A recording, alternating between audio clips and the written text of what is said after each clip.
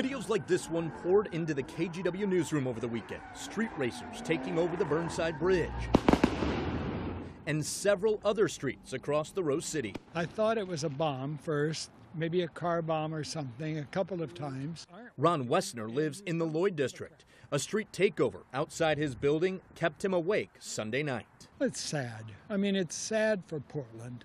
Um, you know, I'm lucky that I live in a, in the castle, as it were. You know, so I'm I'm protected way up high. But I just feel sad for the city and for Lloyd Center neighborhood. People were just doing donuts right here in this big area right here, and they just take up the whole area. Tarek Hood's girlfriend has lived in the Lloyd district for about a year. He says he's seen street takeovers a handful of times. I'm sure it bothers a whole lot of other people and whoever has to come out here and clean this up. I'm definitely sure it's a nuisance to a lot of people. For instance, this man, a Multnomah County worker tasked with sweeping up debris from the illegal activity on the Burnside Bridge. It's a big safety concern for people. Uh, during these events, people are struck by vehicles, vehicles crash, uh, pedestrians are injured.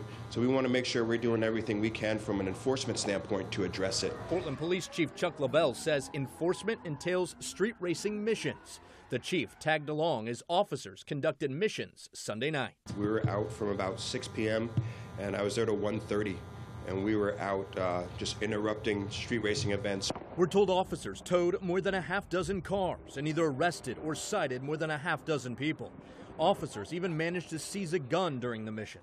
All the more reason Ron Wessner is hoping police can get a handle on what's become a far too common occurrence in Portland.